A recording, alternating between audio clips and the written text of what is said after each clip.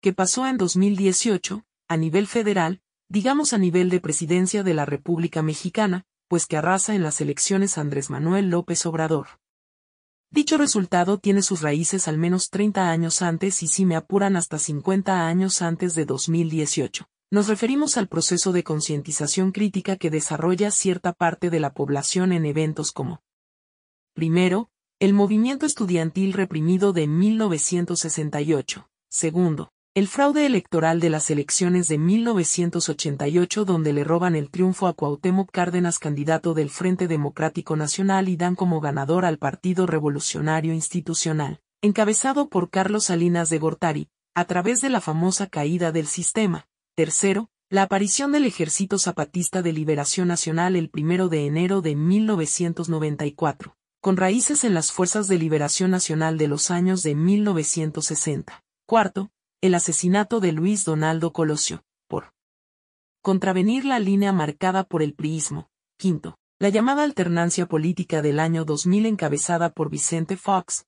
que resultó en más de lo mismo. Sexto, el fraude de 2006 que da el triunfo a Felipe Calderón. Séptimo, el fraude de 2012 que da el triunfo a Peña Nieto. Es así que la olla de presión que representaba la sociedad mexicana, no podía soportar un fraude más, era muy seguro que si robaban una vez más la elección, la sociedad se manifestaría de manera violenta, cumpliendo el ciclo histórico de 100 años. Recuerden la independencia alrededor de 1810, la revolución alrededor de 1910. El siguiente movimiento si las cosas no cambiaban correspondería a los alrededores de 2010. En este caso la gota que derramaría el vaso sería un fraude más.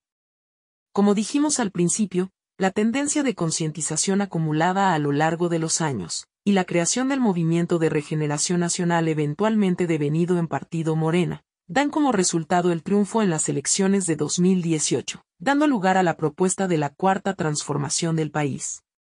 En resumen, podemos decir que el resultado de esta gestión ha sido muy bueno para la nación en general, nos referimos a una adecuada gestión de la pandemia de 2020, la lucha contra la corrupción y el corporativismo, la recuperación de sectores estratégicos principalmente el energético, el desarrollo de sectores que conducen a la reindustrialización del país como el transísmico, la recuperación del poder adquisitivo, entre otros. Sin embargo, la situación a nivel municipal ha sido un poco diferente, quizá hasta sui generis, ya que como veremos, el cambio a nivel federal no necesariamente se refleja del todo a nivel municipal.